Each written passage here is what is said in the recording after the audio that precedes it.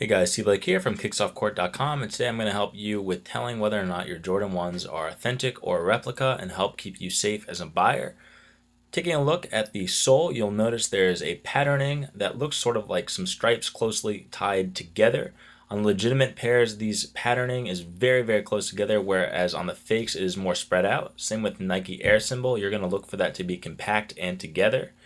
If you take a look at the height, on a legitimate pair, the height top part of the Jordan 1 is much lower set than on the fakes. So if you have an authentic pair in your collection you want to compare them to, this is the easiest way to tell.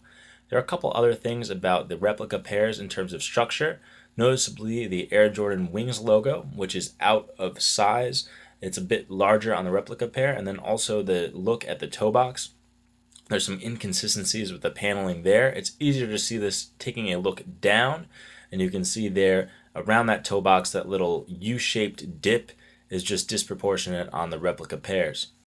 We hope you found this video helpful, and remember you can always go to kicksoffcourt.com for more videos like this as well as the latest in sneaker news.